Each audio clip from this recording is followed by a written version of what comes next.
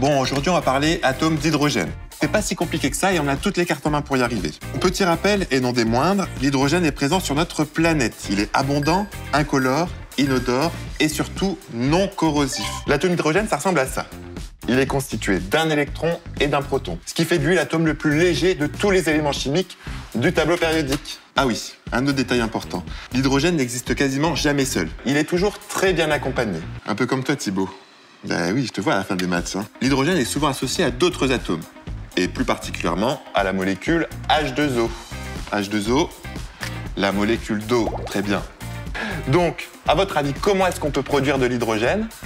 En utilisant de l'eau, évidemment.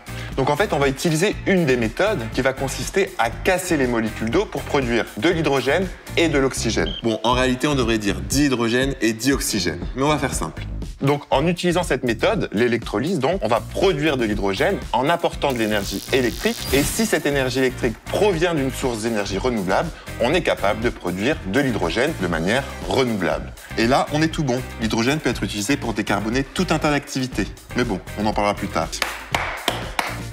Tous prêts pour l'hydrogène, une énergie collective. Ah,